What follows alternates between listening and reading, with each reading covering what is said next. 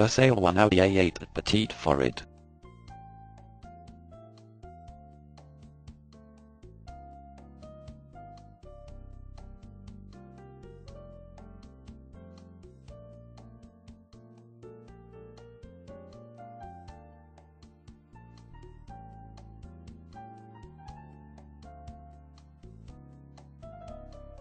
For more details, click on the link in the description.